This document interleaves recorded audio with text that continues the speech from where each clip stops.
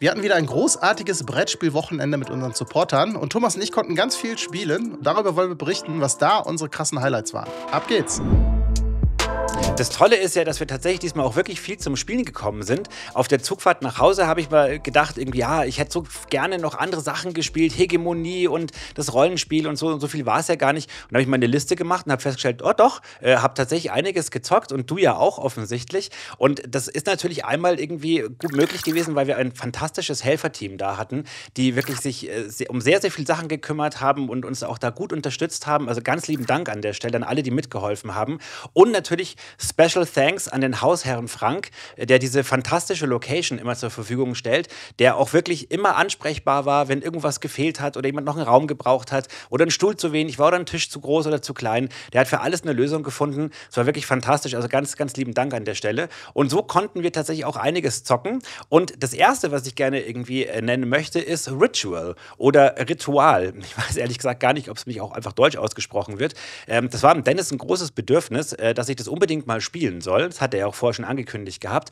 Und äh, ich muss sagen, ich war tatsächlich äh, sehr überrascht. Ähm, es ist ja eines dieser Spiele, bei denen man nicht reden darf, bei dem man versuchen muss, kooperativ bestimmte Aufträge zu lösen, die darin quasi begründet sind, dass man eine bestimmte Menge an Edelsteinen in verschiedenen Farben vor sich oder bei den anderen Spielern platzieren muss. Und man kann halt immer irgendwie eine Aktion machen, wenn man drankommt und muss unter Zeitdruck halt möglichst schnell diese Bedingungen erfüllen und muss halt eben äh, ja antizipieren, was die anderen machen und warum sie das machen, was die eventuell sammeln könnten und gleichzeitig zu verstehen geben, an was ich gerade arbeite und dann das Ganze noch in der richtigen Reihenfolge. Das fand ich ehrlich gesagt sehr, sehr cool bei den Partien, die wir gespielt haben. Und dann habe ich hinterher in die Schachtel geguckt und habe gesehen, da sind ja noch zig verschiedene weitere Pläne und andere Aufgaben in unterschiedlichen Schwierigkeitsstufen drin. Also, das hat mich tatsächlich irgendwie am ersten Abend schon mal sehr, sehr beeindruckt und da hätte ich wirklich Bock, das nochmal zu spielen. Hm. Kann ich nachvollziehen. Ähm, ich glaube, wir haben zwei, dreimal gespielt. Für mich war der Spielreiz dann so ein bisschen weg, weil ja, für mich es dann so ein bisschen durchdrungen war. Aber mit jeder Runde wird es natürlich nochmal ein bisschen anders. Bei mir ging es auch lockerflockig los mit was Kleinerem und zwar geht noch was. Ähm, ein kleines Push-Luck-Spiel, das hatte ich schon mal auf der Messe Nürnberg ausprobiert, habe es aber dabei der Erklärung gar nicht so richtig verstanden. Und äh, jetzt war es auf jeden Fall gut erklärt, weil Jens Merkel, der Autor, selber da auch vor Ort war und äh, das natürlich auch der einen oder anderen Runde gezeigt hat. So, das äh, wird jetzt meine Meinung aber nicht beeinflussen. Es ist ja, vom Material muss man sagen, da geht mehr. Das Problem ist, bei dem Preis geht nicht mehr. Also von dem, was man da kartenmäßig rausgeholt hat, ist es so das Beste mit Blattcore und was weiß ich was, hat er erzählt. Aber man hätte sich natürlich richtige Chips gewünscht, weil man die nämlich nicht sehr viel in die Hand nimmt. Und dann fühlt es sich halt irgendwie nicht so wertig an. Das ist ein bisschen schade. Ja, Push-Luck-Spiel wird gewürfelt. Der Würfler nimmt einen Würfel, die anderen können sich aus dem Rest bedienen. Und dann äh, versucht man, ah nee, ich glaube, aus dem Ergebnis muss man gucken, es wird sich gar nicht bedient, ähm, dass man äh, irgendwas von seinen Aufträgen, die man liegen hat, erfüllt. So, und der Push-Luck-Mechanismus ist so ein bisschen, dass man selber entscheiden kann, bei jeder Stufe, boah, wie viel riskiere ich da, dass ich mir der Option offen lasse oder sie eher hochschiebe, um mehr Punkte zu machen. Ähm, das sieht erstmal sehr einfach aus, vor allem von der Aufmachung und für die Zielgruppe. Ich glaube aber, es ist ehrlich gesagt ein Tick zu kompliziert für die Zielgruppe. Wenn man, ich mir vorstelle, ähm, dieses typische, ich glaube, 12, 13, 14 Euro Spiel, das doch eher so für Familien und äh, Leute, die noch nie gespielt haben, gedacht ist, dann glaube ich, wenn man da, ich jetzt mir vorstelle, meiner Mutter die Anleitung vor die, vor die Nase setze, dann, boah, weiß ich nicht, ob die so richtig da durchsteigen. Also, als ich das das erste erklärt bekommen habe, wusste ich auch nicht so recht, was ich da jetzt machen sollte. Äh, klingt jetzt irgendwie schlimmer, als es ist. Ne? Also, wenn der Jens es erklärt hat, dann war es auch alles cool.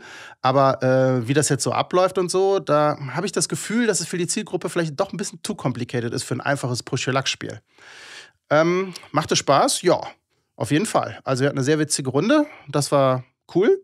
Aber ich glaube nicht, dass das ehrlich gesagt ein Dauerbrenner wird. Also da hatten wir andere Spiele auf dem Tisch, die dann ständig auf den Tisch kommen. Und ich glaube, nach dem Spiel wird man nicht mehr so häufig fragen. Wobei es nicht schlecht ist. Es ist aber einfach solide, würde ich sagen. So, der Dude war gar nicht begeistert, aber das ist jetzt auch eine ganz persönliche Präferenz. Er mag überhaupt keine Push-Luck-Spiele. also, wenn der über, irgendwann über das Spiel redet, es liegt daran, er mag keine Push-Luck-Spiele. Ich finde die grundsätzlich okay. Ähm, hab natürlich viel riskiert und hätte fast gewonnen, aber wenn dann zum Schluss nicht der richtige Wurf kommt, dann hat halt gar nichts mehr gepasst. Ja, also du hast da offensichtlich dann hochwertigere Chips äh, drin vermisst. Äh, die könnte man bei dem nächsten Spiel eigentlich auch vielleicht reinpacken. Das Spiel heißt eine Tüte Chips. Und wenn du dich daran erinnerst, wir haben darüber ja schon mal gesprochen, ich, mich hat das irgendwie gar nicht so gereizt, aber es haben dann mehrere Leute, inklusive Flo, ich glaube, du warst auch dabei und viele andere haben gemeint von, nee, das musst du unbedingt mal spielen, das ist irgendwie total witzig. Äh, vor allem denkt man die ganze Zeit, man möchte irgendwie tatsächlich selber Chips essen, wenn man in diese Tüte da reinfässt. Ähm, dann haben wir das am Freitag gleich gespielt, ähm, war irgendwie ganz locker, irgendwie so zum Einstieg auch ganz gut. Ähm, und ja, äh, also ich muss sagen, ich war ehrlich gesagt nicht so begeistert. Äh, Im Endeffekt macht man ja nicht viel anderes, außer einfach random da Chips rauszuziehen und irgendwo hinzulegen. Und die einzige Entscheidung, die man hat, ist, dass man von seinen sechs Aufträgen am Anfang, die halt so äh, sagen, wie viele Chips, also es sind mehr lila Chips am Ende übrig als äh, rote oder es sind irgendwie ganz, ganz viele äh, grüne da. Ähm, und das muss man dann quasi halt so ein bisschen einschätzen, was man glaubt, welche Aufträge man dann gut werten kann. Dann wirft man halt immer Aufträge ab und am Ende hat man noch drei übrig und für zwei gibt es Pluspunkte Pluspunkte und für einen gibt es Minuspunkte. Und das muss man halt irgendwie einigermaßen abschätzen. Das macht man halt irgendwie statistisch. Man hat auch so eine kleine Hilfe, wo draufsteht, wie häufig diese Chips in der Chipstüte drin sind. Und äh, der Rest ist halt Glück. Und im Endeffekt zieht man halt einfach dann Chips raus, legt die hin und dann wertet man hinterher. Das war mir persönlich jetzt ehrlich gesagt zu wenig Spiel. Also das war jetzt irgendwie in der Situation ganz lustig, weil wir alle mit der Chipstüte auch rumgealbert haben, was man damit alles irgendwie Lustiges machen kann. Aber also vom Spielreiz her muss ich sagen, hat mich das jetzt nicht groß überzeugt. Also ich müsste das jetzt nicht unbedingt unbedingt nochmal spielen. Also, ähm, ich glaube, ich habe es danach auch nie wieder gespielt, aber äh, ist jetzt auch eins dieser Spiele, die jetzt nicht ständig auf den Tisch kommen. Ähm, wir fanden es auf jeden Fall sehr witzig. Also, der Gag hat funktioniert und äh, ja, ist, man kalkuliert halt Wahrscheinlichkeiten und versucht halt, äh, die Aufträge sinnvoll zu nutzen. Was auf jeden Fall sehr gut funktioniert hat und mir viel Spaß gemacht hat, ist The Same Game. Ja, da geht es wieder um Begriffe und um Kategorien, sehr abstruse Kategorien, teilweise zum Beispiel Bedeutung für die Menschheit, irgendwie der Preis.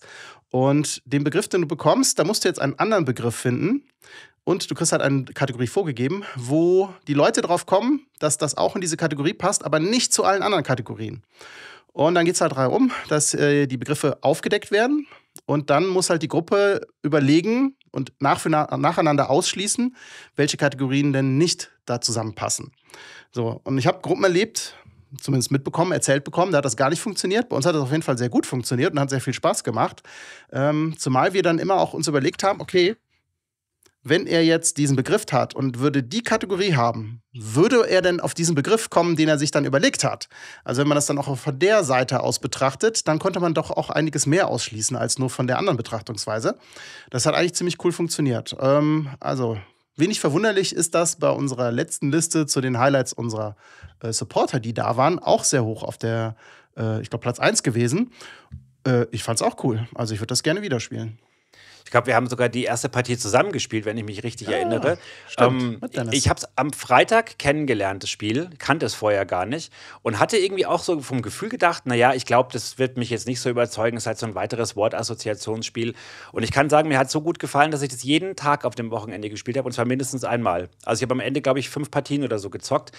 Natürlich auch, weil es halt sehr schnell geht und man es auch in einer größeren Gruppe spielen kann, aber vor allem auch, weil mich diese Art der Assoziation und dieser Denkweise, äh, das hat mich total total fasziniert. Also ähm, du musst halt wirklich irgendwie nicht nur diesen einen, diese eine Kategorie dir anschauen, wo du äh, was, was, was Ähnliches und Gleiches irgendwie feststellst, sondern du musst auch gut auf die anderen Kategorien eben achten und eben was bewusst nehmen, was da halt nicht dazu passt. Und das ist eine ganz andere Art des Denkens. Und ähm, ich habe auch gemerkt, man, man lernt da auch wirklich wahnsinnig dazu von Partie zu Partie. Also am Anfang äh, ist es für die ersten Leute erstmal so ein bisschen überfordernd, so, hä, was muss ich hier genau machen? Und dann, dann das ein paar Mal gemacht hast und dann den nächsten Begriff aufschreibst, schreibst, dann denkst du schon gleich ganz anders, weil du irgendwie viel mehr darauf achtest, dass sich das bei den anderen Sachen unterscheidet. Also ich finde es einen sehr, sehr cleveren Take, äh, was so Wortratespiele angeht. Und das ist für mich jetzt wirklich auch eins der Highlights gewesen, tatsächlich. Wie kam denn Captain Flip bei dir an? Weil das war ja auch eins dieser Spiele, wo man nichts von erwartet und man doch irgendwie überrascht ist. Hat es dich auch überrascht?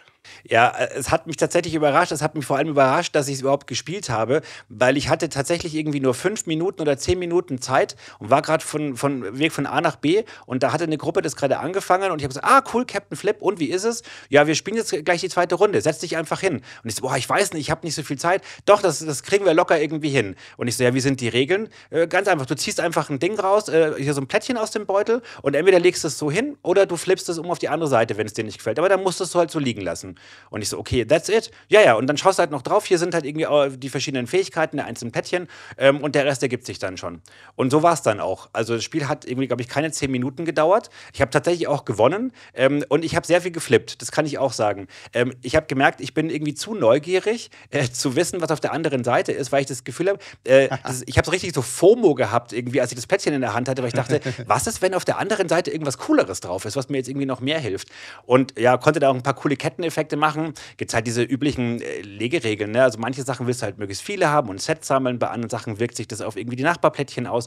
Und dann versucht man halt irgendwie möglichst Gold zu, äh, viel Gold zu bekommen und wer am Ende des Meisters hat, der gewinnt. Ähm, das war in dem Fall Gott sei Dank tatsächlich ich. Hätte ich irgendwie gar nicht gedacht. Aber diese äh, sehr, sehr flip-intensive Strategie hat sich gut ausgezahlt. Also ich, ich fand sehr, sehr charmant, wie simpel dieses Spiel ist und dass trotzdem da ein ganz cooles Spielgefühl äh, zustande kommt. Ich weiß jetzt aber ehrlich gesagt auch nicht, wie das wäre, wenn ich das jetzt fünf, sechs Partien in Folge gespielt hätte, ob dann nicht irgendwann auch die Luft raus ist und dieser Reiz äh, dieses, dieses Flippens dann weg ist. Aber das erste Spiel fand ich überraschend cool.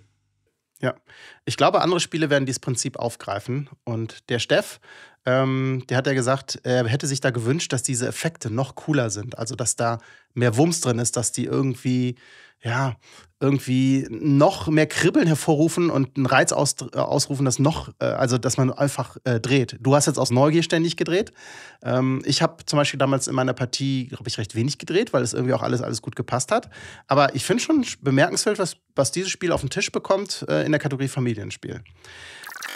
Was ich sehr cool fand an diesem Wochenende war wieder, ich hatte mir sehr wenig vorgenommen und alles war sehr spontan. Also es hat sich einfach ergeben. Das werdet ihr auch gleich sehen bei den anderen Spielen. Und eine Partie war halt auch wieder Mischwald. So, mit der Erweiterung natürlich. Das habe ich auch häufig auf dem Tisch gesehen. Und ich wundere mich gerade, dass es in der letzten Top 20 gar nicht häufiger genannt wurde. Wahrscheinlich haben es die Leute auch schon alle rauf und runter gespielt. War jetzt keine Überraschung oder kein Highlight, weil sie es einfach schon kannten. Ähm, die Partie war wieder recht schnell zu Ende, weil halt die dritte Winterkarte sehr schnell kam. Und deswegen habe ich wieder wenig von diesen Alpin-Karten gesehen. Also unter dem Video wurde viel kommentiert, dass es halt das Spiel deutlich besser macht, gerade was das Balancing angeht. Das finde ich schon mal sehr großartig. Deswegen, also wer das Spiel hat und gerne häufiger spielt, klar, die Erweiterung kann man einfach reinmachen, das macht es halt besser. Ne? Ähm, aber ich hatte halt gesagt, ja, wenn du jetzt Mischwald so ein bisschen durchgespielt hast, ähm, dann wird jetzt die Erweiterung nicht den, das Innovativste in die hervorlocken, was man da jetzt noch entdecken kann. Ähm, ein paar Sachen sind mir aufgefallen. Das eine, ich hatte einen Mitspieler, der hatte direkt äh, als zweite Karte gelegt, dass ähm, man eine Karte ziehen darf, wenn man einen Baum pflanzt. Das ist ja irgendwie, glaube ich, so ein Pilz, der kommt dann unten drunter, also liegt unten am Wald. Und ich gucke mir an und denke so, herzlichen Glückwunsch, du hast gewonnen. Ähm, meine Erfahrung ist, ich habe bis jetzt alle Partien gewonnen, wo ich sehr früh diese Karte angelegt habe, weil du halt einfach tendenziell bei diesem Spiel halt, ja, nicht gerade wenige Bäume pflanzt. Ähm, und dann halt, wenn du jedes Mal als Bonus dafür noch eine Karte ziehen kannst, dann ist das schon nicht unerheblich. Das ist so meine Erfahrung. Ja, hat Anna auch gewonnen. Ähm, das finde ich ein bisschen schade. Also, das sind so ein, zwei Karten drin, wo wir sagen, hm. das war eine Viererrunde und die kannten auch alle das Spiel. Das heißt, mit Hirschen und Wölfen kamst du nicht so leicht durch. Da wurde alles sehr geschickt äh, taktiert, hat sich verteilt und im richtigen Moment natürlich immer gerade noch schnell die Lichtung geleert, damit man da nicht dran kommt. Oder wenn man die Karten eigentlich loswerden wollte, na gut getimt erst losgeworden. Ähm, Punkte zählen war diesmal gar nicht so schlimm. Das hatte ich irgendwie schlimmer in Erinnerung. Kann aber auch daran liegen, dass halt die Partie schnell zu Ende war und wir alle unter 100, Punkten, 100 Punkten lagen. Wenn man halt 300 oder 400 Punkte zusammenzählt, das dauert halt deutlich länger. Ähm, und was mir aufgefallen ist, ist, ähm, ich habe es bis jetzt halt gerne auf Boardgame Arena gespielt oder hier am Tisch mit einer Rille. Und wenn man das halt gut spielt, dann versuchst du immer so am Limit deiner Hand zu sein. Also zehn Kart halt Handkarten. Es macht keinen Sinn, irgendwie Karten vorher rauszuhauen, bevor du nicht irgendwie das Handlimit erreicht hast und vielleicht noch bessere Karten mit noch besseren Kombis und vor allem passend bezahlen auf der Hand hast. Ähm, und wenn man die alle auf der Hand hat, sind zehn Karten, immer durchblättern, durchblättern, durchblättern und Symbole matchen, anstrengender, als wenn die einfach vor dir aufgereiht ähm, stehen. Das ist dann angenehmer. Ja, das ähm, ist mir da aufgefallen, dass mich das ein Tick mehr genervt hat als das Punktezählen am Ende. Trotzdem war wieder cool, also äh, schnell gespielt und ähm, für ein total leichtes Regelwerk, schöne Tiefe, macht immer noch Spaß. Mich hat tatsächlich gewundert, dass Mischwald nicht häufiger gespielt worden ist, weil das war ja auch eins der Spiele, bei denen wir die meisten Kopien da hatten. Das hat gefühlt auch jeder zweite mitgebracht. Ähm, muss auch ganz ehrlich sagen, unsere Spieleausleihe, die ja quasi einfach kumulativ durch alle Gäste entstanden ist am Freitagnachmittag, die war ja teilweise besser sortiert als, als mancher Spieleladen. Also da gab es ja irgendwie Great Western Trail, habe ich irgendwie sechsmal gesehen und äh, auch ganz viele große ähm, Boxen gab es da ganz häufig und Mischwald habe ich auch wirklich sehr, sehr oft da gesehen. Also da wäre es die perfekte Gelegenheit gewesen, es mal zu spielen. Ich habe es auch nicht gespielt, aber ich habe ein anderes Spiel, ähm, ich, ich, will jetzt nicht sagen spielen müssen, aber es war Dennis ein großes Bedürfnis, dass wir unbedingt Blem, die Astrokatzen, wieder spielen. Der ist ja ein großer Fan von diesem Spiel. Ich habe unterschiedliches mit dem Spiel jetzt schon erlebt. Also ich finde das auch nicht schlecht. Es ist ein sehr, sehr schönes Push-Your-Luck-Spiel, bei dem wir eben mit unseren Astrokatzen, wie Astrokatzen das halt so machen, in den Weltraum fliegen wollen und verschiedene Planeten und Monde besiedeln. Und es geht halt wirklich darum, mit den Würfeln irgendwie gut umzugehen und halt zum richtigen Zeitpunkt auszusteigen, bevor die Rakete abstürzt. Wir haben es diesmal auch mit äh, ganz, ganz vielen Extra-Modulen gespielt und die erlauben es einem dann auch, dass man deutlich höher kommt. Also wenn man das irgendwie nur als Grundspiel spielt, dann ist es schon sehr glücksabhängig, wie weit man da irgendwie nach oben kommt. Mit diesen ganzen Extra-Modulen gibt es halt dann mal so extra Zwischenschritte und Booster und dann hat man noch irgendwie ein UFO mit dabei, da gibt es auch nochmal einen Bonus, wo man drauf landet. Und äh, wir sind tatsächlich, ist meine Premiere gewesen, zum ersten Mal oben im freien Weltraum angekommen. Äh, ich war zwar nicht der Erste, aber ich habe immerhin fünf Punkte irgendwie kassiert, das hat sich ganz gut angefühlt. Und ansonsten ist es halt irgendwie weiterhin ein sehr, sehr schön produziertes, ähm, mit einem sehr speziellen Thema versehenes Push-Your-Luck-Spiel. Das hätte auch mit anderen Themen gut funktioniert. Das das Spielsystem ist gut. Ähm, es wirkt vielleicht irgendwie von außen irgendwie nach mehr, als es eigentlich ist. Aber ich glaube, wer irgendwie diese Art von Spiel mag und wer auch auf das Katzenthema steht, der findet natürlich hier irgendwie auch genau das richtige Spiel. Also bei mir ist es immer noch so, dass ich äh, gute Erlebnisse damit hatte, aber auch eher so mittelmäßige. Es ist für mich kein, kein großes Highlight, aber ich finde, es ist definitiv kein schlechtes Spiel. Ja, sehe ich ähnlich. So eine solide 2 in der Schule, würde ich sagen. Was ich endlich mal ausprobiert habe, ist Shake That City. Ein Puzzlespiel, wo wir uns eine Stadt in einem Raster zusammen puzzeln. Das ist möglichst punkteträchtig. Also klassische Sachen wie äh, Wohnhäuser nicht neben Industrie, da wollen äh, irgendwie Parks sein, Gewerbe muss an der Straße sein. Also wir versuchen halt gut zu puzzeln, vor allem dann auch noch Reihen- und Spaltenwertung mitzunehmen. Und wie kommt zustande, was wir puzzeln? Es gibt so eine Box, da sind Würfel drin, die wird halt geshakt und dann drückt man drauf und da kommen halt äh, an Raster an Würfeln raus. Also das, was man puzzeln muss, ist total zufällig.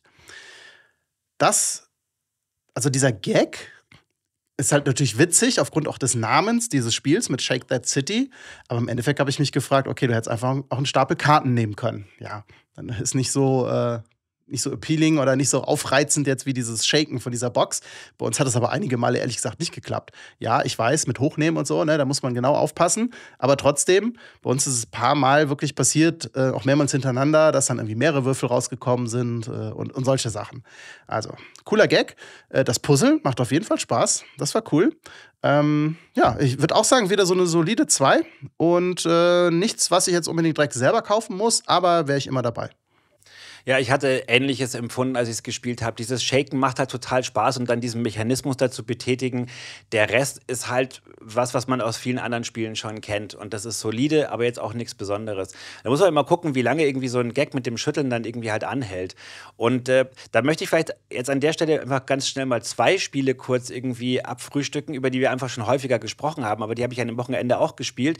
Zum einen Schnitzeljagd, ähm, ein sehr, sehr schönes Ärgerspiel mit fünf Karten nur, bei dem es darum geht, wer legt welches Tier zu welchem Zeitpunkt und kann gut antizipieren, was die anderen Leute legen. Ähm, das war wieder sehr, sehr lustig. Ich habe festgestellt, das, was mir am meisten Spaß macht bei diesem Spiel, ist tatsächlich die Ansagen zu machen. Also wirklich so ganz spannend, okay, wer hat einen Bären? Und dann, tada, es gibt nur einen Bären, okay, aber was frisst der Bär jetzt? Und ähm, weiß ich, vielleicht, weil ich mit meinen Kindern das irgendwie auch immer so spiele und da so viel Immersion versuche reinzubringen, aber quasi diesen Moment auszukosten, was die Leute jetzt tatsächlich als nächstes umdrehen, das finde ich eigentlich das Interessanteste an dem Spiel. Und Trio habe ich auch noch mal gespielt. Ich glaube, es war jetzt das vierte Mal und ich glaube, es war für mich persönlich jetzt auch das letzte Mal. Also ich muss sagen, dieser, dieser Reiz des, der allerersten Partie ist mittlerweile vollkommen verflogen. Es ist halt wirklich ein sehr, sehr banales Memory-Spiel, bei dem man sich halt einfach merken muss, was die anderen Leute auf der Hand haben, wenn sie es einmal gezeigt haben. Und wir hatten tatsächlich auch so eine bisschen undramaturgische Partie, weil viele Leute in der Partie ähm, mehrere Zahlen doppelt hatten. Das heißt, sie mussten dann quasi auch nur eine 10 finden und konnten dann die anderen beiden irgendwie drauflegen und hatten dann ihren Drilling schon zusammen. Ähm, ja, also für mich wird das, glaube ich, irgendwie kein, kein großes Ding sein, was, was als Dauerbrenner bei mir in der Sammlung bleiben würde.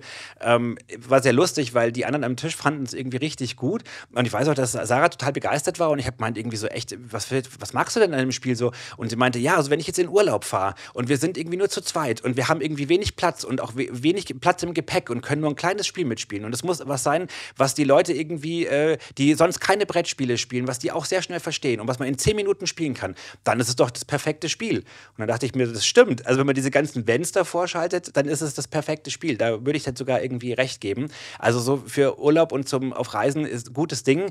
Aber dass das Ganze jetzt irgendwie so beliebt ist und so viele Leute irgendwie drüber sprechen, kann ich persönlich ehrlich gesagt nicht nachvollziehen. Dafür ist mir das Spiel ehrlich gesagt zu banal. Und da ist für mich auch kein großer Spielreiz drin auf Dauer. Ja, ich bin auch kein großer Fan. Aber ja, bevor ihr Phase 10 mit in den Urlaub nehmt, das musste ich ja mal spielen im Urlaub, dann nehmt auf jeden Fall Trio mit. Das ist deutlich besser. Und äh, Schnitzeljagd kam bei uns vor kurzem auch wieder auf den Tisch. Ich habe es nämlich mitgenommen zu den Kollegen. Wir hatten einen Teamtag und waren danach im Biergarten. Haben es zu 4 oder 50 gespielt und kam gut an. Aber ein Tick besser kam noch Spicy an. Das haben wir dann nämlich danach gespielt und die Stimmung war da besser auf jeden Fall. Was ich jetzt aber am Wochenende gespielt habe, endlich mal, weil ich ja auch schon letztens gesagt habe, okay, setz mich auf die Liste. Und Monika hat das natürlich auch zum Anlass genommen, mir hinterher zu rennen und sagen, so, jetzt müssen wir aber auch. Äh, vielen Dank, dass du das organisiert hast. Jamaika. Familienspiel und was soll ich sagen? ich äh, kann anerkennen, dass das richtig gut designt ist. Also äh, dieses Würfeln und dann halt Aktionen auslösen von den drei Karten, die du hast. Aktion vorne, hinten, du hast das schon in der Hand und denkst dir, oh, leg die bitte so rum, leg die bitte so rum. Nein, jetzt legt er sie andersrum und dann passt es halt nicht. Ähm, das das ist insgesamt ein cooles Paket. Es kann aber auch extrem frustrierend sein. Das ist nicht mir passiert. Ey, am Anfang hatte ich nur diese Karten und dann passten nicht die Würfel dazu. Dann hat es halt die Karten mit, geh vor oder geh zurück. Da willst du halt vor allem Zahlen haben, die beim Würfeln weit auseinander liegen. Nein, da kamen immer nur gleichartige. Das heißt, du bist nicht vom Fleck gekommen. Ich habe in dieser kompletten Partie nicht einmal eins von diesen äh, Schätzen da aufgesammelt. Ähm, hatte wenig Geld bin mehrmals immer wieder zurückgetuckert. Also es war, es fühlte sich während dem Spiel überhaupt nicht cool an. Es war für mich sehr frustrierend. Am Ende habe ich es dann noch geschafft, weil dann halt mal zwei Sechsen gewürfelt worden sind und ich dann noch diese Karten übrig hatte, wo man irgendwie einen Doppel-Vorwärts-Move macht. Das hat das Spiel gefinisht. Ich bin als erster durch, habe dadurch die 15 Gold bekommen. Das war auch das einzige Gold, was ich hatte. Und du hast dann halt noch gewonnen, weil du einfach viel mehr Gold vorher gesammelt hattest, weil ihr euch die ganze Zeit bekriegt habt. Ähm, ja, also gut designt kann sehr lucky sein, was man da so macht. Und es kann sich frustrierend anfühlen, wenn halt irgendwie gar keine coolen Moves für dich drin sind. Dann ist halt blöd. Aber ich würde es wieder mitspielen. Aber jetzt auch nicht unbedingt vorschlagen. Äh, du solltest es unbedingt nochmal spielen, weil ich habe dich sogar ein bisschen beneidet bei unserer gemeinsamen Partie, dass du irgendwie so weit hinten warst, weil ich ja quasi das Spiel schon kenne und weiß, dass äh, das vom Timing so ist, dass jeder zumindest einmal komplett durch sein ganzes Kartendeck durchkommt. Und dadurch, dass du diese ganzen Vorwärtskarten erst am Ende hattest, bist du gar nicht so oft irgendwie den anderen in die Quere gekommen. Also ich wurde ja andauernd angegriffen, muss auch ganz ehrlich sagen, ich hatte am Ende so viel Gold, weil ich glaube ich drei oder viermal in Folge attackiert worden bin, aber dann die Schlacht gewonnen habe, teilweise auch natürlich mit einem glücklichen Wurf und dann quasi meinen Angreifer ausplündern konnte. Deswegen hast du dann am Ende für den Sieg gereicht. Aber dass du da quasi am Ende erstmal so ein bisschen ab vom Schuss warst und so alleine durch die Gegend äh, schippern konntest und dann am Ende die Aufholjagd gemacht hast, das war eigentlich sogar eher ein Vorteil. Also ähm, spiel es unbedingt nochmal. Ich finde das Spiel wirklich klasse, aber ich, ich kann schon verstehen, dass es so ein bisschen frustrierend sich anfühlen kann, wenn die Karten nicht so passen auf der Hand. Ähm, ich habe einen äh, Klassiker gespielt, ähm, von dem Dennis auch schon ganz häufig gesprochen hat. Ähm, ich glaube, es ist von Eric M. Lang und zwar ist es Quarriors. Es ist, glaube ich, eins der ersten, wenn nicht sogar das erste Dice-Building-Spiel, also quasi Dice-Pool-Building. Ähm, und zwar hat man eine Tüte, äh, einen Beutel mit äh, verschiedenen Würfeln und zwar am Anfang halt nur zwei verschiedene, wie das halt bei solchen Spielen ganz üblich ist. Äh, eine kleine Mini-Einheit und es geht nämlich darum, dass wir quasi die anderen Spieler am Tisch angreifen mit unseren Würfeleinheiten und dann eine andere Würfelart, die Energie gibt, weil wir am Ende unseres Zuges immer Energie ausgeben können, um uns neue Würfel zu kaufen. Da gibt es halt so eine Auslage mit coolen äh, Effekten und verschiedensten Würfeln und solange halt Würfel von einem noch, von einer Art noch da sind, kann man die dann eben auch kaufen. Dann wandern die auf dem Ablagestapel irgendwann in den Beutel und irgendwann zieht man die dann auch. Und dann kriegt man halt quasi immer einen cooleren Pool an Würfeln mit unterschiedlichen Effekten für den Angriff, für die Verteidigung, mit irgendwelchen coolen Zaubersprüchen, die dann irgendwie auch Wechselwirkungen haben und versucht halt dann irgendwie möglichst lange seine Würfel auf dem Board zu haben, dass man dann, wenn man wieder dran ist, dann eben die werten kann. Ähm, das ist irgendwie, finde ich, echt cool gewesen. Also vom, vom, vom Spielfluss. Es ist halt wirklich wie so ein ganz typisches Deckbuilding oder eben Dice-Building-Spiel ähm, ohne großen Schnickschnack. Das Einzige, was halt bei dieser Art von Spiel halt eben ganz häufig ist, du musst halt am Anfang erstmal diese ganzen Karteneffekte alle lesen. Da, da hast du halt in der Mitte halt eine große Auslage und das sind halt eben zig verschiedene Karten. Und damit du das irgendwie gescheit spielen kannst, bist halt die ganze Zeit irgendwie am Karten drehen und nochmal durchlesen. Na, was macht das jetzt nochmal? Soll ich mir die jetzt kaufen? Und wie ist nochmal die Kombination? Das ist natürlich irgendwie bei der Erstpartie mal ein bisschen anstrengender, als es dann wahrscheinlich später ist. Das würde ich sehr, sehr gerne nochmal spielen. Einfach um zu gucken, ob dann nicht sogar noch mehr Spielfluss auftritt. Ähm, und ich finde, ähm, man sieht irgendwie da schon, ähm, dass der Mann ein guter Designer ist äh, und der da wirklich äh, ein cooles Spielkonzept entwickelt hat, was man in anderen Spielen dann ja auch wieder weiterverwendet hat. Hm. Ich hatte Bock auf das Spiel. Dieses Wochenende war auf jeden Fall eines, äh, ein, ein Spielen der Gelegenheiten. Und zwar hätte ich vorher nicht gedacht, dass ich an diesem Wochenende Anno 1800 spiele und sogar zweimal. Ähm, die erste Gelegenheit war, ja, ich bin so rumgeschlendert und sehe, wie Anno 1800 aufgebaut wird. Und ich so, oh, ist da noch Platz? Ja, klar. Und dann war ich einfach plötzlich dabei. Und es war eine Viererrunde, jetzt nicht die präferierteste Spieleranzahl für dieses Spiel. Ähm, trotzdem ging das so flott. Drei kannten es, einer noch nicht. Der war aber auch ein, ein flotter Spieler. Und jetzt waren wir in einer Stunde 15 durch, äh, was ich, glaube ich, rekordverdächtig für dieses Spiel finde.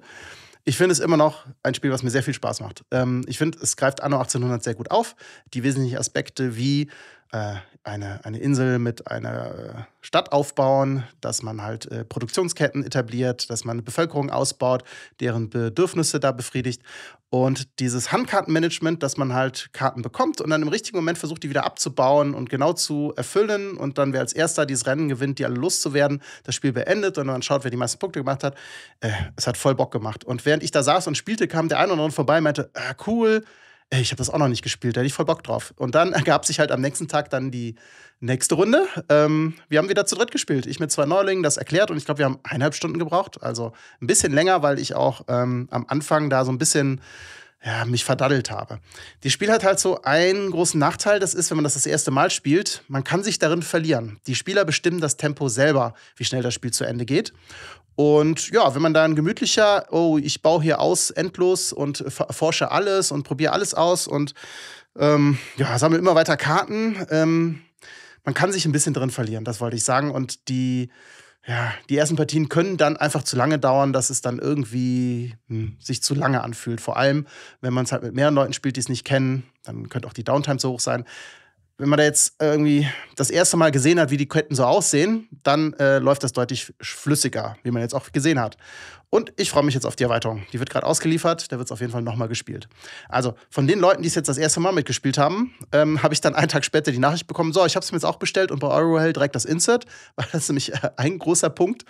Das aufzubauen ist auch die Hölle, weil es so viele Plättchen gibt, die auf einzelne Stapel gelegt werden müssen, dass da ein Insert, was ähm, so magnetisch zusammenklippbar, das heißt, man holt es nur raus, zack, zack, zack, setzt sie zusammen und kann direkt loslegen, äh, extrem hilft bei diesem Spiel. Also ich beneide dich ja total, dass du das zweimal spielen konntest an dem Wochenende. Ich habe es leider gar nicht geschafft. Ähm, witzigerweise wurde ich am Samstagnacht irgendwie von zwei Leuten darauf angesprochen, hey cool, du spielst acht, äh, Anno 1800 morgen. Und ich so, nee, wie kommst du denn da drauf? Ja, du stehst doch hier auf der Liste, da hast du dich doch eingetragen. Da hat doch tatsächlich irgendein Schlingel meinen Namen irgendwie auf die Liste gesetzt, dass ich das mitspielen möchte. Ähm, bitte meldet euch, wer das war. Wir müssen ein ernstes Wörtchen miteinander reden. Was ich aber gespielt habe, ist Viticulture. Da hatte ich wieder das Glück, äh, das auch wieder äh, erklären zu dürfen dürfen. Das ist halt irgendwie einfach ein Klassiker. Ne? Also jeder hat sein eigenes Weingut und wir, ähm, wir, ernten Trauben, machen daraus Wein, versuchen Aufträge zu lösen. Und dann kommt der ein oder andere Besucher auch in Form von Karten bei uns vorbei und gibt uns verschiedene Ressourcen und Möglichkeiten, weitere Siegpunkte abzustauben. Was ich immer sehr gerne mache, ist irgendwie zu gucken, was sind immer also die einfachsten Möglichkeiten, da Siegpunkte abzustauben, bevor man sich so eine super krasse Engine aufbaut mit zig äh, Weinen, die man dann im Keller lagert und dann am Ende irgendwie ganz, ganz viele Aufträge zu lösen. Äh, so hat Dennis das gespielt spielt. Ich meine, der macht immer so diese Long-Term-Strat ähm, und ist tatsächlich dann irgendwie äh, auf halber Strecke verdurstet, weil, und nicht ich, sondern jemand anderes einfach deutlich schneller war mit den Punkten. Und das ist halt tatsächlich eine sehr interessante Dynamik, weil du kannst auf unterschiedliche Arten und Weisen dieses Spiel spielen. Aber wenn du auf die, auf die Langzeitstrategie setzt irgendwie und dann irgendwie ganz, ganz viele Punkte am Stück machen willst, dann musst du trotzdem den richtigen Moment finden, wann du das machst, weil sonst bist du einfach zu langsam. Und wenn du aber irgendwie nur, wie ich es auch gemacht habe, irgendwie versuchst immer hier und da ein paar Punkte abzugreifen, kann es auch sein, dass dir dann irgendwie dieses Momentum ganz fehlt und du einfach auch nicht bis zum, bis zum Ziel kommst. Ähm, das finde ich ehrlich gesagt sehr spannend immer, dass man da eben auf unterschiedliche Arten und Weisen dieses Spiel spielen kann. Und es ist und bleibt für mich einfach ein Klassiker, dem man, wie auch jetzt am Wochenende, Wochenende einfach auf den Tisch knallen kann und dann spielt man das einfach. Ähm, die Regeln sind, finde ich, relativ eingängig, weil sich auch alles thematisch super gut erklären las, äh, lässt. Und ähm, wir haben es sogar ohne Erweiterung gespielt, aber wenn man die dann noch mit draufpackt, hat man sogar noch ein bisschen mehr äh, Variabilität drin. Also das ist und bleibt einfach ein sehr, sehr cooles Kennerspiel. Wir haben einen kleinen Absacker auf den Tisch gebracht. Es war ein neues Spiel im Star Wars-Universum, Bounty Hunters. Und da hat man erstmal so gar keine Erwartung dran. Ne? Man denkt so, ja gut, so ein Lizenztitel, so einfaches Spielprinzip, ähm, ist wahrscheinlich ganz nett. Und wir haben das auch innerhalb von, glaube ich, zehn Minuten kurz Regeln gelesen und dann losgelegt. Und es ist dann ein Drafting, wo es darum geht, äh, geschickt Karten zu ziehen, um coole Sets zu bauen. Zum einen natürlich äh, Leute, die gejagt werden sollen. Es geht ja um Bounty Hunting. Äh, Kopfgeldjäger selber, Aufträge. Ich glaube, noch ein paar Druiden sind dabei. Also es gibt so drei, vier verschiedene, nee, vier, fünf verschiedene Stapel, ähm, von denen man entweder nachzieht oder ähm, dann bei sich Karten auslegt und so weiter. Bis halt einer, glaube ich, vier Leute gejagt hat und dann äh, wird halt abgerechnet. Also im Kern Drafting und Set Collection. Und das macht es eigentlich ganz gut. Also, wir saßen da und waren etwas überrascht, dass das eigentlich jetzt eine sehr witzige Partie war. Das wird jetzt kein Dauerbrenner. Das wird jetzt wahrscheinlich nicht ewig im Regal sein und nicht ständig auf den Tisch kommen. Aber die Partie hat uns Spaß gemacht. Und als wir am nächsten Tag da standen und dachten, hey, wir brauchen jetzt wieder irgendwie einen kurzen, schnellen Absacker, kam auch der Vorschlag, ach, sollen wir das nicht einfach nochmal spielen? Also, ähm, dafür, dass man gar nichts erwartet, hat es überrascht. Aber es macht jetzt auch überhaupt nichts Neues. Ne? Also, ein Spiel, das nicht wehtut, aber jetzt auch nicht begeistert, weil man als äh, vielleicht Kennerspieler nichts Neues entdeckt. Hast du das zufällig mit dem Dennis gespielt? Nein. Okay, weil interessanterweise hat der nämlich an einem Tag irgendwie sehr penetrant immer wieder diese Schachtel in der Hand gehabt und meinte, er möchte das unbedingt spielen. Äh, aber irgendwie hat mich das irgendwie nicht so angesprochen vom, vom Cover. Deswegen musste ich Danke Nein sagen. Aber dann hast du es mit jemand anderem gespielt. Ich erinnere ähm, mich, genau. Der kam nämlich bei mir auch vorbei, und meinte, ach, spielst du es zum ersten Mal? Ja. Er meinte, oh, dann bin ich mal gespannt, was du dazu sagst. Weil ich glaube, der findet das auch gar nicht so schlecht. Mhm. Ja, habe ich auch den Eindruck. Ähm, was wir aber tatsächlich zusammen gespielt haben, ist Lewis in Clark. Das wurde sich auch quasi äh, gewünscht äh, und das konnte ich natürlich dann sehr, sehr gerne erklären, weil ich das wirklich, ich, ich, mag das Spiel einfach. Ja, also manche Leute können damit nicht so viel anfangen. Es ist ja auch wieder ein Wettrennen. Wir sind äh, quasi in den Fußstapfen von Lewis in Clark und wollen quasi den Fluss entlang bis an den Westen der USA. Und um da hinzukommen, möglichst schnell, müssen wir halt sehr, sehr geschickt mit unseren Handkarten, mit den Ressourcen, mit unseren Booten, mit unseren äh, Miepeln, die wir äh, auf dem Spielplan platzieren, umgehen, dass wir quasi die Sachen immer so richtig zum, zum, zum richtigen Zeitpunkt ausgegeben haben, dass wir dann, wenn wir unser Lager aufschlagen, möglichst wenig Zeit verlieren. Und dann muss man eben halt irgendwie auch gut managen, welche neuen Karten man sich ins Deck holt und wann man sich neue Miepel holt. Ähm, und wer dann eben halt am geschicktesten macht, der kommt als erstes in Fort Clatsop an und gewinnt dieses Spiel. Hat ein wunderschönes Artwork von Vincent Dutré. Also ich, ich mag das Spiel einfach unfassbar gerne. Aber ich fand es diesmal sehr interessant. Ähm, ich habe das Spiel ausgepackt und aufgebaut. Und da habe ich plötzlich irgendwie gesehen, äh, wo sind denn diese Lagermarker irgendwie? Und dann haben wir ewig in dieser Kiste gesucht und ich dachte mir, da fehlen doch irgendwie Komponenten. Und was sind denn das irgendwie für Komponenten, so komische Chips? Und dann habe ich festgestellt, das ist die Neuauflage, die Hunter und Kron Neuauflage, die ich tatsächlich noch nie gespielt habe. Und da haben sie tatsächlich ein paar Sachen geändert an den Mechanismen. Unter anderem, wie dieser Zeitverlust beim Lageraufbauen zwischen diesen Zügen funktioniert. Ähm, und damit kam ich irgendwie gar nicht klar, muss ich ehrlich sagen. Also ich, ich verstehe, warum sie das gemacht gemacht haben, weil man quasi ja immer, wenn man dann sein Lager aufschlägt, mit seinem Miepel wieder auf dem Fluss zurücklaufen muss und dann so gefühlt wieder quasi ähm, den Progress, den man gemacht hat, teilweise rückgängig machen muss. Auf der anderen Seite fühlt sich das aber irgendwie, finde ich, thematisch an. Und wie sie es jetzt gelöst haben, ist, dass man quasi einfach immer über den Fluss weitergeht. Man muss nie zurücklaufen, aber für jede Zeit, die man verliert beim Lageraufschlagen, kriegt man so einen Marker. Und der bedeutet dann, dass man am Ende weiterlaufen muss, als das eigentliche Zielfeld. Also wenn du irgendwie so acht, neun Marker gesammelt hast, dann musst du halt acht Schritte Weitergehen. Und das hat sich irgendwie super weird am Ende angefühlt, weil wir eben nicht den gleichen, das gleiche Ziel hatten. Und thematisch gesehen haben wir ja das gleiche Ziel, aber der eine war dann schon über der Ziellinie drüber, musste aber noch acht Felder weiterlaufen, um das Spiel zu gewinnen. Und dann hat jemand anderes gewonnen, der halt eigentlich nicht so weit laufen musste. Das fand ich irgendwie total seltsam. Also warum das geändert worden ist, weiß ich ehrlich gesagt nicht. Auf der anderen Seite, ähm, wenn man es, glaube ich, nicht anders kennt, dann fällt es auch gar nicht irgendwie so negativ ins Gewicht. Und man kriegt, glaube ich, auch nur noch diese Version. Ähm, ich glaube, für Leute, die es noch nie gespielt haben, wird es irgendwie kein Dealbreaker sein. Schaut es euch trotzdem mal an, wenn ihr die Gelegenheit habt. Das ist wirklich ein sehr, sehr tolles ähm, Eurogame, was eben sich auch durch die Art und Weise, wie man das Spielmechanisch spielt, ganz, ganz eigen anfühlt. Also ich kenne kein anderes Spiel, was dieses Spielgefühl so macht. Ich kann mich auch noch erinnern, ich kenne ja nur die neue Version. Und wie das Ende funktioniert, musste ich viermal nachfragen. Ich glaube, ich, ich habe es jetzt definitiv auch wieder vergessen. Aber ich finde es auch ein sehr cooles Spiel. Sehr gut gefallen, hat mir auch gut nach Hora. Auch kein Neuling, kam auf der Messe raus. Ich habe äh, die Partie, die hier in meiner Nachbarschaft gespielt wurde, hatte ich verpasst und war da ein bisschen traurig. Freue mich jetzt umso mehr, dass ich es nachholen konnte in einer sehr coolen Runde. Und ja, ich habe es beim letzten Mal schon gesagt äh, in dem Video, ähm, das Besondere ist halt hier dieser der, sehr dynamische Markt und dass du halt, sagen wir, nicht so krass strategisch hier vorgehen kannst, sondern immer auf die Situation reagieren musst und aus dem, wie so gerade der Marktstand ist, das Beste rausholen musst. Und das hat mich am Anfang echt ein bisschen was gekostet. Also diese Art zu planen und zu denken, oh, da habe ich mich erstmal schwer mitgetan. Ähm, ich weiß noch, ich musste dann Einkommenszüge machen, wo ich dachte, boah, fühlt sich gerade nicht so cool an. Ähm, ja, ich habe auch irgendwie das Gefühl gehabt, dass ich es gar nicht so richtig ausnutze. Irgendwie lief es dann doch besser als gedacht. Ähm, es war auf jeden Fall eine sehr spannende, interessante Partie. Also das ist wirklich ein recht einmaliges Erlebnis. Da kann man jetzt nicht sagen, das hat man in X-Spielen schon äh, ich, äh, zigmal gesehen, sondern das ist wirklich für so Kennerspieler, glaube ich, nochmal ein ganz anderer Mix an Mechanismen und Spielgefühl. Das fand ich auf jeden Fall super spannend und würde ich gerne nochmal ausprobieren.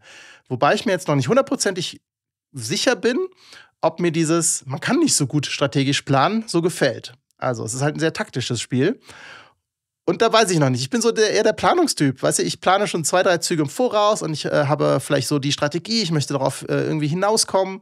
Das funktioniert bei dem Spiel nicht. Es hängt immer davon ab, was die anderen halt machen. Und äh, ja, da bin ich mir noch nicht sicher, ob ich dann so der Riesenfan davon bin. Aber insgesamt fand ich das äh, ein sehr gelungenes Spiel. Ja, mir kommt es eben halt gerade entgegen. Ne? Ich mag eher dieses taktische Spielen und gucken, was die Situation aktuell hergibt. Deswegen mag ich das Spiel auch sehr gerne. Und ich stimme dir zu, äh, das ist wirklich ein Spiel, bei dem man nicht das Gefühl hat, das ist irgendwie der x-te Abklatsch von irgendeinem Mechanismus in neuem Gewand, sondern das fühlt sich wirklich sehr eigen und innovativ an, weil eben auch äh, viele, viele neue, coole Sachen da miteinander kombiniert sind. Also ich finde das immer noch auch weiterhin ein sehr gutes Spiel. Und was auch natürlich immer ein klasse Spiel ist, auch wenn es damit nicht vergleichbar ist, weil es doch ein eher kurzweiliges äh, Spiel für zwischendurch ist, ist Diamant. Ein Push-Your-Luck-Spiel, bei dem wir ähm, eine Höhle erkunden in jeder Runde. Und es ist halt irgendwie dieses ganz klassische Prinzip. Wir versuchen immer weiter irgendwie reinzugehen in die Höhle. Aber wenn zweimal die gleiche Falle kommt, dann sind wir sozusagen tot. Und auf dem Weg sammeln wir verschiedene Edelsteine ein. Und wenn wir eben das Ganze zu überreizen, dann verlieren wir das alles wieder. Also muss man irgendwann den richtigen Moment finden, wann man quasi in der Runde wieder zurückläuft. Man kriegt teilweise auch beim Zurücklaufen Edelsteine. Und wenn man das gut managt ähm, und seine Gegner gut lesen kann, dann kann man das Push-Luck-Element ganz gut ausreizen und dann halt möglichst viele Edelsteine mit nach Hause nehmen. Ich gehöre zu den Leuten, die solche Sachen immer komplett überreizen. Also Push-Luck bedeutet für mich immer wirklich Push, Push, Push. Äh, und dann äh, laufe ich irgendwie in die Todesfalle rein. Diesmal war ich die ersten zwei Runden wirklich sehr, sehr brav und bin irgendwie auch früh umgekehrt und habe irgendwie immer so ein bisschen meine Punkte gemacht. Ähm, und dann kam, glaube ich, die dritte oder vierte Runde und da sind wir dann alle irgendwann raus rausgelaufen, weil wir Angst hatten. Aber Stebo hat irgendwie sich gedacht, nö, ich gehe weiter und ich gehe noch weiter und ich gehe noch weiter. Und dann hat er, glaube ich, irgendwie 25 Edelsteine in der einen Runde eingesackt. Damit war die Partie dann irgendwie durch. Also der hat einmal quasi wirklich Nerven behalten und ist einmal irgendwie da ganz tief in die Höhle eingestiegen und hat es überlebt. Und dann war der Chaos bissen. Ähm, da dachte ich mir, vielleicht sollte ich das nächste Mal doch wieder ein bisschen forscher sein. Ähm, ist aber immerhin weiterhin eins meiner Lieblings-Push-Your-Luck-Spiele, weil ich finde es tatsächlich auch recht thematisch, obwohl man ja nur Plättchen umdreht. Und ähm, es ist sehr kurzweilig und bringt dieses, dieses Push-Your-Luck-Element wirklich gut auf den Tisch. Sehr cool. Ähm, Sorry, ich muss nochmal über Star Wars Unlimited reden. Das war natürlich am Wochenende auch ein Thema und ich habe mehrere Partien gespielt. Und warum ich nochmal drüber reden muss, ist, wie ich habe das erste Mal das Vierspieler-Format gespielt und zwar Twin Suns heißt das. Das hat besondere Deckbauregeln. Man darf nämlich jede Karte nur einmal drin haben. Man spielt zwei Anführer und dann spielt man halt in der Viererrunde jeder gegen jeden. Kennt man vom Commander-Format. Aber was hier wieder beeindruckend ist, ähm, großes Lob an Fantasy Flight Games. Das ist einfach herausragend designt. Die haben wieder jeden Aspekt nochmal geschliffen und besser gemacht. Es war eine sehr spaßige Partie. Ist wieder ein Rennen darum, darum, wer als erster den meisten Schaden auf seiner Base hat, also dadurch stirbt. Und wer den letzten Schlag macht, der kriegt mal fünf von, von seiner Basis geheilt. Und wer dann am wenigsten Schaden auf seiner Basis hat, gewinnt. Und das macht es halt automatisch total spannend. Äh, man gleicht immer ein bisschen aus. Man guckt, dass alle irgendwie ne, äh, da äh, mehr Schaden haben als du und dann im richtigen Moment zuzuschlagen und das Spiel zu beenden. Und es war total witzig, viel Trash-Talk.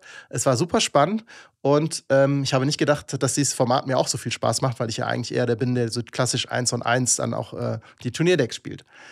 Ähm, herausragend designt. Ähm, auch nochmal eine Ergänzung. Ähm, ich habe es beim letzten Mal schon gesagt, ich bin beeindruckt, wie vielseitig das Metagrad ist und wie viele spannende Deckkonstruktionen es gibt. Ähm, vor kurzem hat wieder ein, hat ein Deck ein Turnier gewonnen, wo es hieß, dieser Anführer, Hera Sondola, ist eigentlich Trash-Tier, hat damit ein Turnier gewonnen, weil da einfach wieder Kombos entdeckt worden sind oder Synergien, wofür vorher keiner so richtig drüber nachgedacht hat. Es macht einfach Spaß, dieses Spiel zu spielen. So, reicht für diesmal. Thomas, mach weiter. Du hast dich ja wirklich sehr kurz gehalten. Das Einzige, was noch kürzer ist, ist das Spiel, was ich dir jetzt gleich erzählen werde, nämlich das heißt äh, Three Second Try. Da dauert nämlich eine Spielrunde drei Sekunden. Das ist auch eins dieser Spiele, äh, die in dieser weißen, langen Schachtel kommen, ein Geschicklichkeitsspiel, die es in Essen gab letztes Jahr. Da hatten wir auch eins im Headquarter ausprobiert.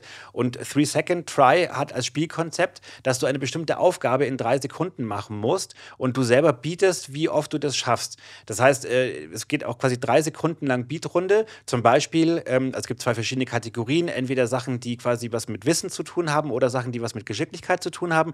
Und da heißt zum Beispiel, wie oft kannst du in drei Sekunden schnipsen? Und dann überbieten die Leute sich und rufen irgendwie Zahlen rein, dreimal, fünfmal, achtmal, zwölfmal. Und äh, der, der das höchste Gebot hat, der darf dann quasi den ersten Versuch machen, hat drei Sekunden Zeit und versucht dann halt so viel zu schnipsen, ähm, wie es irgendwie geht und versucht eben das, was er sich da vorgenommen hat, zu erreichen. Dann hat er das gewonnen. Wenn er das nicht schafft, dann kommt quasi der nächste dran in der Reihe, der als nächstes geboten hat und so weiter. Äh, was irgendwie ganz interessant ist, wenn man das Ganze mit den äh, Wissenskategorien macht, ist es tatsächlich so, dass die Dinge, die der Vordermann, der es vielleicht nicht geschafft hat, schon genannt hat, die sind dann für dich auch raus. Ähm, die musst du dann quasi streichen von der Liste und musst dann quasi dein Gebot mit neuen Wörtern oder, oder Begriffen irgendwie bringen.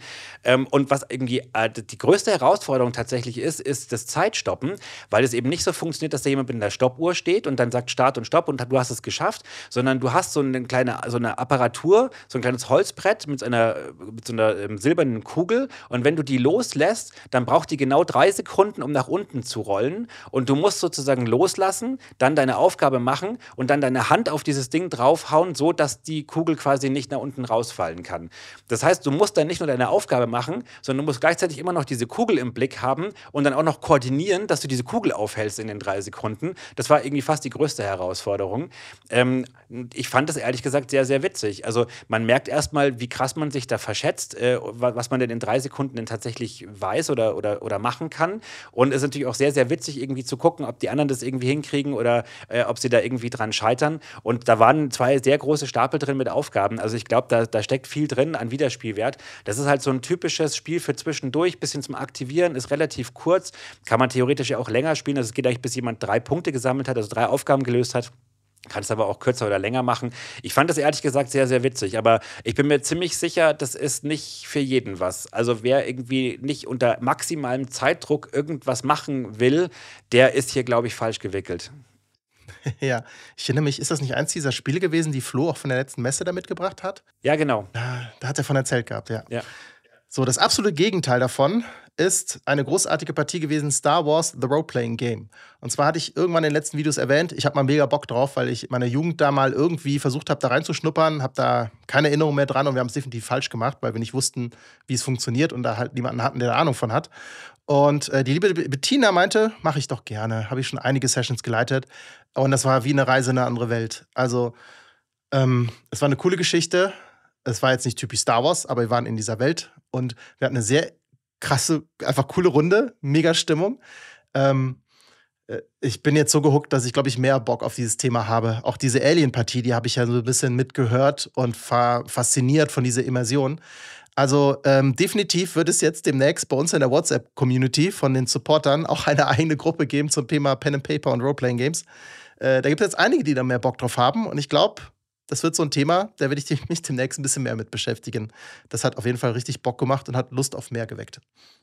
Da bin ich sehr gespannt, weil wenn du in irgendeine Sache einsteigst, dann steigst du ja richtig ein. Ich bin schon gespannt, dass du mir dann bald erzählst, dass du zweimal am, in der Woche eine fünfstündige Session von eurer Kampagne spielt.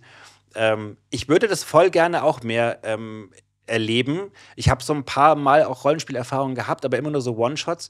Und leider habe ich irgendwie nicht die Zeit, das zusätzlich noch zu machen und da mal so eine Kampagne aufzusetzen. Ähm, ja, Social Deduction war ein Thema am Wochenende. Ähm, und äh, ja, viele erwarten vielleicht jetzt ein ganz bestimmtes Spiel, da reden wir aber später noch drüber. Ähm, wir haben aber auch Tempel des Schreckens gespielt, weil wir waren eine relativ große Runde ähm, und wollten irgendwie äh, was, was Nettes, Lustiges irgendwie für zwischendurch. Und dann haben wir dieses Spiel gespielt, als die Karten ausgeteilt worden sind. Meinte ich irgendwie, als ich da so eine Karte mit so einem Typen drauf gesehen habe, dachte ich mir so, was ist, was ist denn das für eine Karte? Ist das eine andere Version? Und dann haben mich alle angeschaut, so, nee, das sind, das sind diese ganz normalen Forscher, das ist das gute Team. Team. Und dann habe ich festgestellt, ich habe noch nie, ich war noch nie im guten Team bei diesem Spiel. Ich kannte quasi nur die, die Wächterinnen-Version. Und dann wurden die Rollen ausgeteilt und natürlich habe ich wieder eine Wächterin. Also ich musste quasi wieder Feuerfallen platzieren, beziehungsweise die Leute da reinlocken. Und das war tatsächlich eine sehr, sehr spannende Partie, äh, bei der bis zum Schluss nicht ganz klar war, wer von uns denn eigentlich alles böse ist. Und äh, ich glaube, es waren neun von zehn Schätzen dann schon gefunden und eine Feuerfalle. Und es ging wirklich dann quasi um die letzten Meter noch. Wem kann man jetzt trauen und wo zieht man? Ähm, und dann haben wir quasi als Böse noch gewonnen. Ähm, es ist einfach ein wirklich sehr, sehr lustiges Spiel. Und es ist halt Social Deduction auf eine ganz, ganz einfache Art und Weise. Das kann man wirklich jedem super gut erklären. Und man muss jetzt auch gar nicht so krass viel bluffen, aber es ist genug, dass da ein interessantes Spielerlebnis draus wird. Und es funktioniert da wirklich auch in der großen Gruppe total gut. Also ich verstehe, warum du so ein großer Fan davon bist und ich werde langsam auch zu einem Fan. Hm. Ähm, mich haben auch Leute angesprochen, meinten, oh, bei ihnen hat es irgendwie gar nicht funktioniert. Es war nix. Aber auch bei uns auf der Arbeit ist das auch ein Dauerbrenner. Also das waren immer spaßige, abwechslungsreiche Runden dabei. Und was ich hier schön finde, ist, es ist nicht schlimm, wenn man enttarnt wird, weil man zwangsläufig ja trotzdem irgendwie die Karten aufdecken muss oder ähm, ja, nicht die Feuerfallen findet.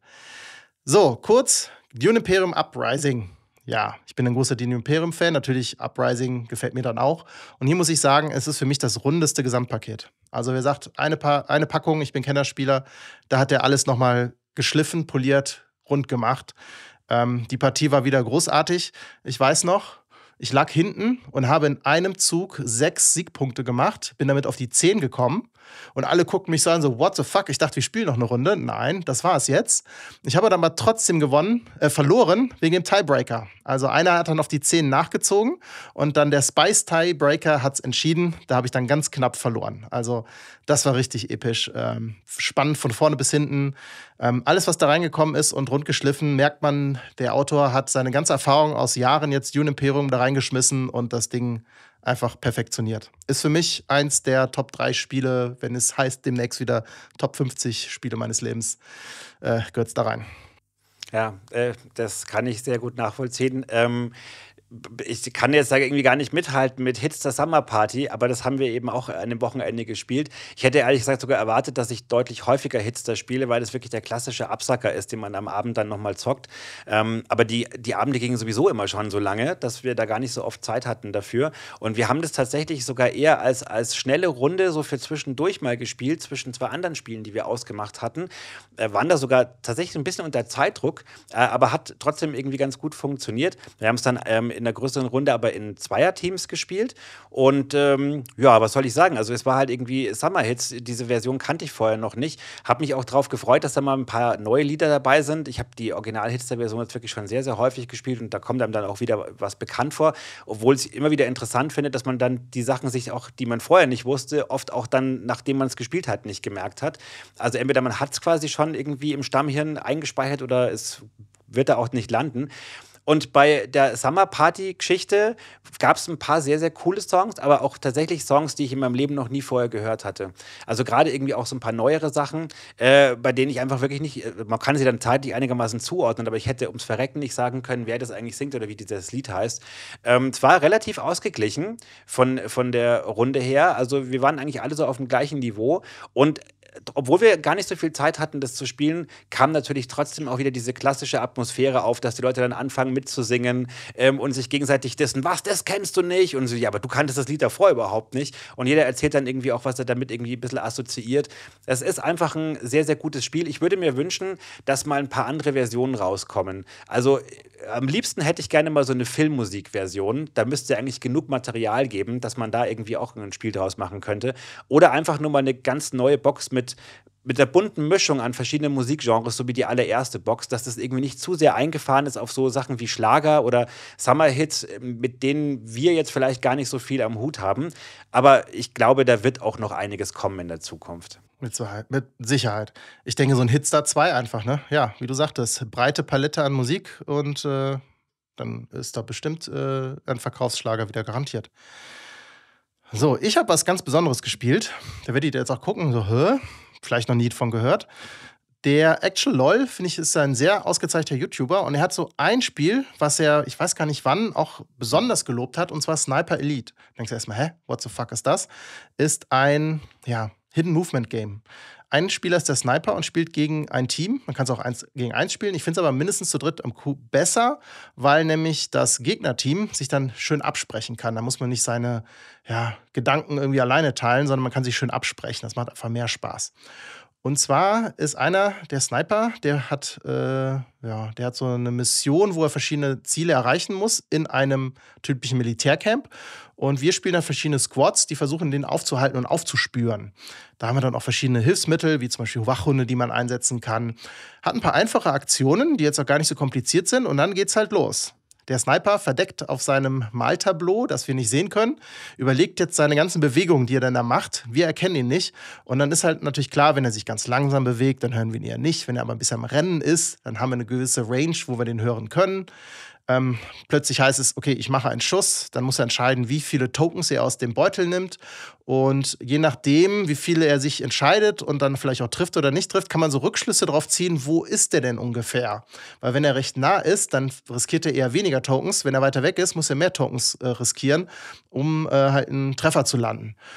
Ähm, sehr spannend. Ähm, ich habe gemerkt, äh, ich hätte auch voll Bock auf die Sniper-Rolle. Und der Spieler, der das gemacht hat, meinte, das ist jedes Mal Herzklopfen, wenn du da überlegst, welchen Move oder einen Schuss setzt. Ähm, wir haben ihn geschnappt. War auch ein bisschen daher geschuldet, dass er, äh, das ist ein bisschen blöd. Das heißt, wenn er auf seinem Board was am Zeichnen ist oder irgendwie ähm, ja, die Startposition markiert oder so, dann müssen alle anderen weggucken, weil man halt aufgrund da, wo der Stift irgendwie so angesetzt wird, halt schon erahnen kann, wo er sich ungefähr befindet. Das ist halt blöd. Da muss man definitiv weggucken. Und dann hat er einfach seine Auftragskarten nicht neu gezogen, weil wir dachten, wir machen einfach schnell weiter. Und das hat uns dann so ein bisschen mehr Infos gegeben, als, Not, als, als es eigentlich üblicherweise ist. Dann war es für uns ein Tick zu einfach, den zu fangen. Trotzdem äh, finde ich, ist es ein richtig, richtig gutes Hidden Movement Game. Also der Actual LOL, der meinte, das wäre für ihn ein herausragend spannendes Spiel im Jahrgang gewesen, kann ich verstehen. Ähm, ich habe mega Bock, mal den Sniper zu spielen. Das ist, glaube ich, noch spannender. Perfektes Spiel zu dritt, würde ich sagen. Weniger, weiß ich nicht. Ist halt ein Duell, dann nicht so spannend, wie wenn man sich austauscht. Zu viert war auch ganz gut. Ähm, man diskutiert halt ein bisschen mehr. Und ähm, ja, Setting jetzt nicht das Allercoolste, aber das fand ich eine richtig coole Partie und habe mega Bock mal auf die andere Rolle. Ja, es klingt tatsächlich interessant. Ich hatte das auch als Titel irgendwie so ein bisschen ignoriert. Hab das auch in dem Actual LOL-Video gesehen. Ich glaube, es waren seine Lieblingsspiele, Top, Top irgendwas. Ähm, und jetzt, wo du auch davon äh, schwärmst, muss ich sagen, gucke ich mir vielleicht auch doch nochmal irgendwann an. Ähm, lass uns kurz über Times Up Filme sprechen. Das hast du dankenswerterweise am äh, Samstag dann auch nochmal mitgebracht. Äh, war, ich glaube, das einzige Times Up, was nicht im Sortiment war. Und äh, ich hätte es auch irgendwie noch viel häufiger spielen können. Es ist bei zwei Partien geblieben, die wir in Folge gespielt haben. Und die waren wieder absolut legendär. Also es ist für mich wirklich das beste Partyspiel, was es da draußen gibt. Wir haben drei Raterunden, müssen Begriffe raten, wie wir jetzt im Kneipenquiz gelernt haben, sind es 30 Begriffe, aber je nach Variante kannst du gucken, sind auch teilweise 40 Begriffe. Ähm, und also das Tolle war, wir waren äh, drei Zweiergruppen und wir haben äh, gegen ein äh, Pärchen gespielt, Michael und Sarah, ihr seid großartige Gegner gewesen, die es wirklich absolut drauf hatten. Also die waren irgendwie in dem Spiel wirklich komplett drin von der ersten Sekunde an und die hatten auch wirklich ein wahnsinnig gutes Film- und Serienwissen und es war wirklich ein Kopf-an-Kopf-Rennen. Da musste dann unbedingt auch nochmal eine, ähm, eine zweite Partie hinterher schieben.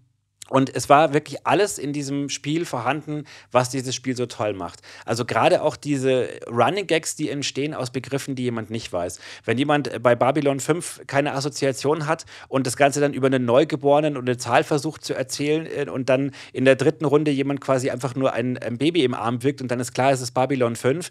Oder wenn man irgendwie sieht, wie die Leute in der Pantomime mit Geräuschen versuchen, den Terminator und Wally voneinander durch süßere oder nicht so süße äh, mechanische Bewegungen Bewegungsgeräusche voneinander zu ähm, differenzieren. Das ist einfach der absolute Hammer. Es ist immer wieder lustig und vor allem auch, was denn da innerhalb einer Partie entsteht an Inside-Jokes, die man dann irgendwie weiterverwenden kann. Das war wieder ein absolutes Highlight für mich. Und ich glaube, das wird so ein Spiel sein, das ich immer mitspiele. Da kannst du mich nachts aufwecken. Äh, da, da musst du irgendwie keine Regeln vorher gelesen haben. Da bin ich immer mit dabei. Und es war diesmal wieder genauso. Absolut. Also in der Spiel äh, Partyspielkategorie Platz 1 und unangefochten. Ein Spiel, was ich unbedingt ausprobieren wollte an diesem Wochenende, ist Slay the Spire. Warum? Ich habe äh, die Videospiel-Variante äh, sehr viel gespielt auf dem iPad und es hat mir mal sehr viel Spaß gemacht. Ich hatte mich dann gefragt, okay, brauche ich das denn noch als Brettspiel, weil die Adaption schon sehr nah dran ist.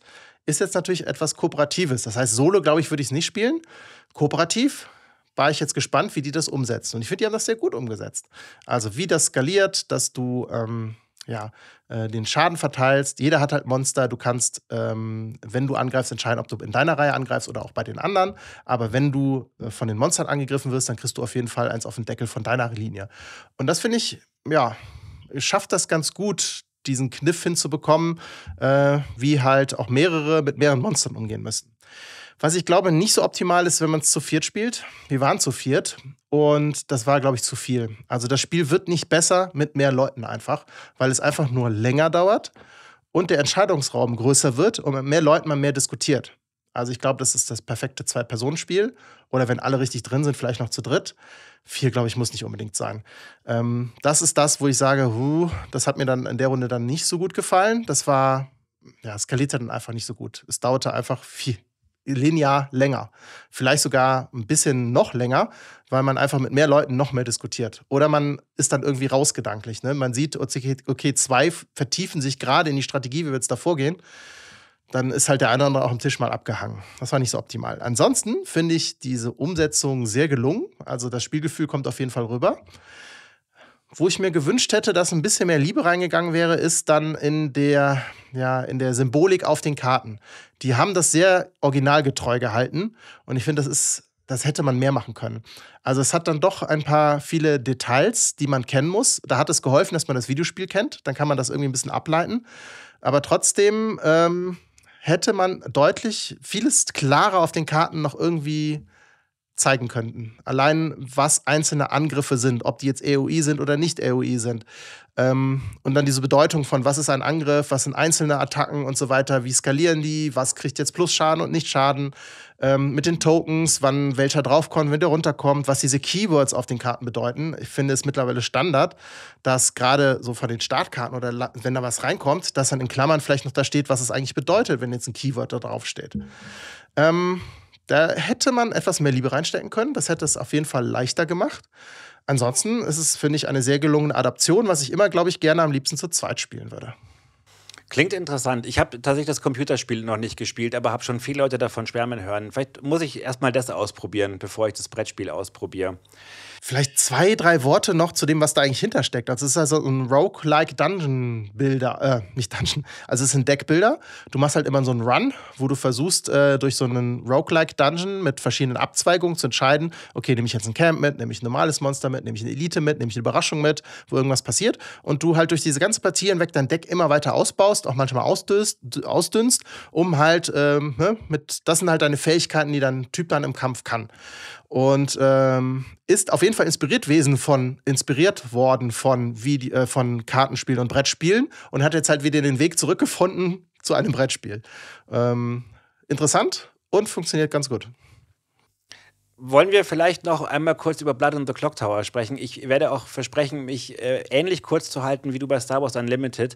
Aber ich muss einfach noch mal sagen, wie bewegend für mich das Wochenende auch unter anderem wegen dieses Spiels war. Ich habe das ja vor einem Jahr beim Better Board Games Wochenende zum ersten Mal kennengelernt, habe da gleich Feuer gefangen und daraus hat sich irgendwie auch eine wahnsinnig tolle Community ähm, entwickelt und es sind auch wirklich tolle Freundschaften entstanden und äh, irgendwie war es auch uns wichtig, jetzt dieses Jahr einfach nochmal einen draufzusetzen und da auch ein richtiges Event draus zu machen mit diesem Spiel ähm, und da waren einfach nochmal viel mehr Leute irgendwie involviert, diesmal auch in der Organisation. Es war wirklich auch einfach alles total schön dekoriert. Wir haben ein buntes Potpourri an verschiedenen Skripten da gehabt. Äh, wir hatten auch die deutsche Version da. Hans von Funtails war dabei und hatte die erste deutsche Kopie dabei. Auch die konnten wir spielen. Und ähm, ich hatte am Sonntagabend meine 195. Partie dieses Spiels und habe trotzdem am Wochenende wieder Dinge erlebt, die ich vorher noch in keiner Partie so erfahren habe.